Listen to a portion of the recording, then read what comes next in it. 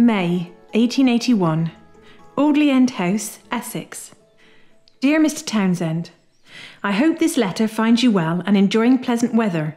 Here in Essex, a little north of London, we have suffered heavy rain of late, but look forward to more delicate spring weather.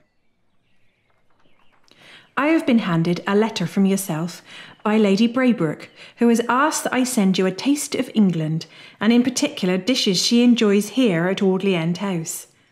I have tried my best to send you items that I've read are not commonly eaten or indeed cooked in America.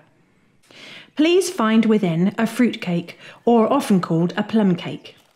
This cake is much loved by all in England, and the recipe I've used comes from a very special cook, Mr. Francatelli, and therefore could be used for any special occasion if suitably decorated. I have enclosed some tea, as I believe we are famous for our tea drinking.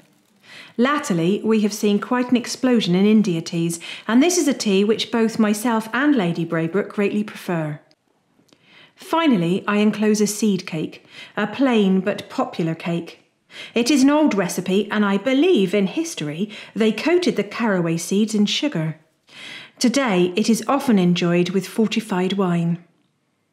I have also included, for your reference, the recipes of each of the cakes. I hope you enjoy them. If you have a moment to send me a few lines to say you have received my parcel in good order, I would be grateful. Yours respectfully, Avis Crocombe, cook to Lord Braybrooke.